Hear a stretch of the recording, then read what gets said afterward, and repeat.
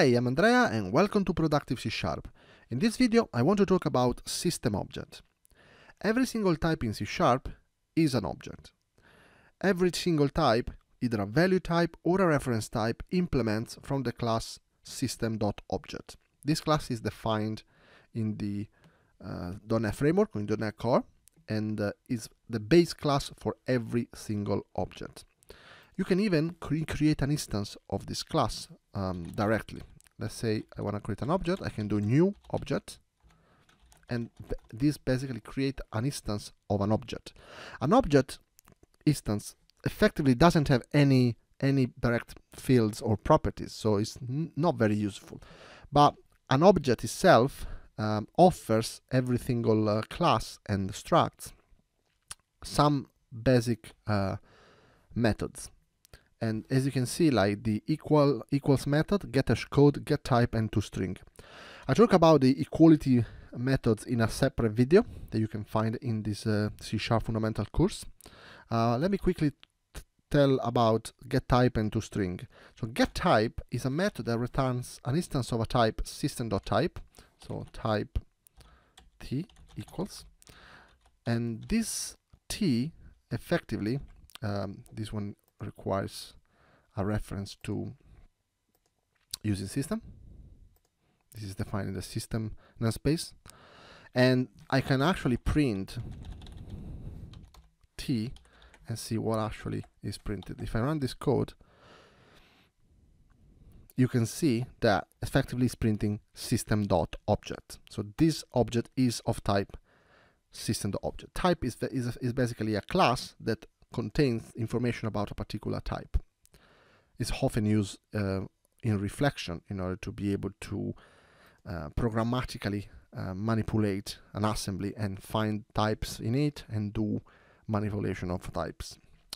So every single object in .NET has posed the getType property because every single object in .NET implements object. Also, when you do console.writeLine t, automatically the toString method is called and this toString method is effectively defined in, in the um, in the object class as well. By default, if you if you use toString on an object, let's let's use it on the obj directly. By default, is effectively printing the name of the type. Is effectively doing the same as what I was doing before, console.writeLine and and then printing t directly. You can see there is a name property here, and I can print those two and you will see that they basically are similar. Object, uh, the name property doesn't have system object, so this will be effectively full name. If I run this, they are effectively the same. Okay, so if you if you create a class in C Sharp that automatically implements system object, by default, when you try to print this class, you will basically print the type of the class itself. Let's see, let's let's try to do that. I have a class here, book, that contains a name property and, uh, and override the toString methods from object. But hey, you can see that I'm not actually inheriting from object directly. So this because automatically every single class in the .NET implicitly inherit from system object. You can explicitly do that if you want do, by doing that and you effectively get the same uh, result. In fact, if you go on that, you can see that, you know, really you don't really need to do that. You can just remove that automatically. Every class implements object. And when I do override to string, I'm basically saying that I'm changing, um, instead of, I'm changing the implementation of to string. So instead of uh, rely on the base class, please use this method. In fact, if I create a book, and I try to print it, at this point in time, because toString is implemented, you will see that actually title code complete is printed. But if I remove this method, the code still compile, but now it's printing book. That is effectively the name of the type of the object. Okay, so now you know that object is effectively the base class of every single object in .NET. Object is an alias in C Sharp that effectively means system.object. So this is effectively equivalent to doing creating a new system object. It's just a, a shortcut, similar to what the other um, value types in C Sharp uh, offers an alias like int, long, they all aliases of int32 and stuff like that.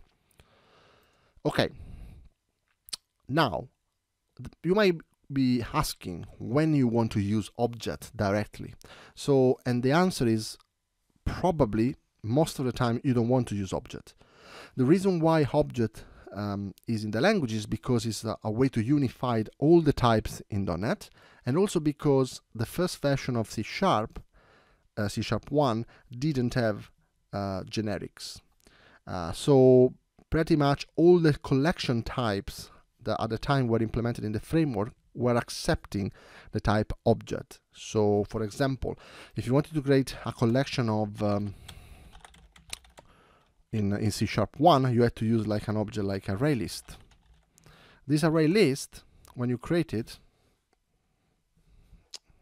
uh, this requires system collection. When you try to add something in this list, you can see that add requires an object.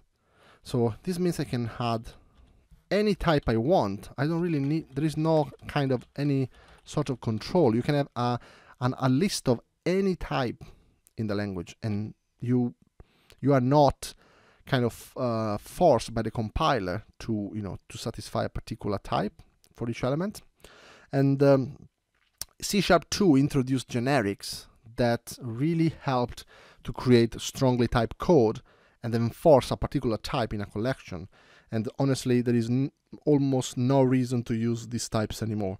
So object often uh, need to be used when you interop with some libraries that has been written before C Sharp 2 was created or part of the language that still you know requires object because they were defined before C Sharp 2 like for example events. Uh, the, the events uh, handler signature still um, requires objects or there are other situations like in other frameworks that requires objects like uh, if you want to implement an IValueConverter in WPF or if you actually want to deal with reflection you still need to use objects so you might find yourself in situations where you need to use the object um, directly, object type directly, but most of the time you don't need to, and you should try to avoid it. Uh, and the reason is also because when you use uh, objects with value types, you might end up in uh, performance problems. And I'm going to quickly describe um, an example.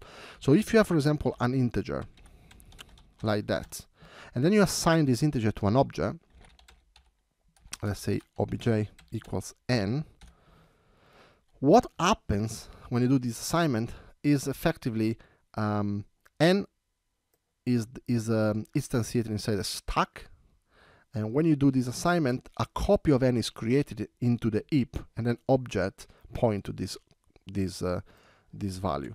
So this operation is called boxing, and it's quite a, an expensive operation to do. And then when you actually want to save back the object into um, the uh, uh, an integer, this operation is called unboxing. So what the framework does is copying the uh, the value from the heap and back into the stack. And you need to do an explicit cast because you can't assign an object type directly to a uh, to a value type, right? While the opposite is, is possible because every object, every type is an object. Okay, so all the time you you basically pass a value type into an object, right? You do a boxing operation. This is very expensive. So for example, here, when you do a list.add and you pass an object directly, all the time you pass an object here, you do a boxing operation. If if object is a value type. In this case, you don't because this book is a reference type. Obj you don't, but if you do list.add 3, now you do a boxing operation, right? So if you use generics, uh, if, you use, if you use generics, this problem goes away. So if you use a list of t, for example,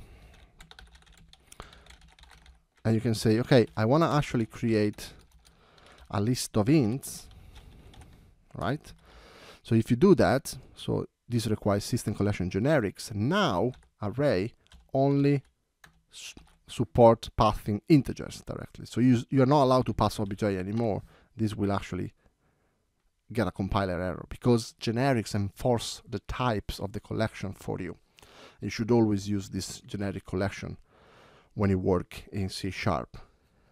Okay. The let me think about if there is anything else I want to tell you about uh, object. Uh, so uh, you already seen how you can do casting.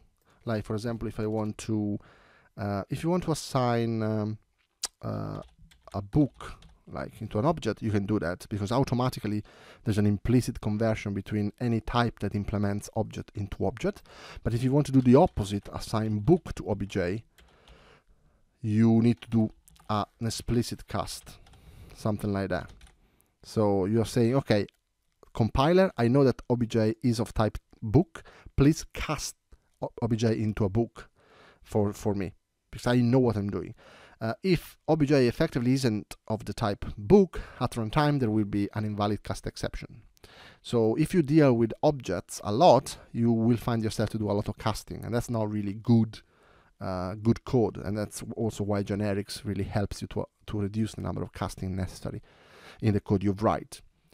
Uh, also, another way uh, for kind of checking the type is, in addition to just calling object.getType and then checking the type, you can use the uh, is, something like that. You can do if uh, obj is book, right? You know that this um, object type is actually reference um, is a book.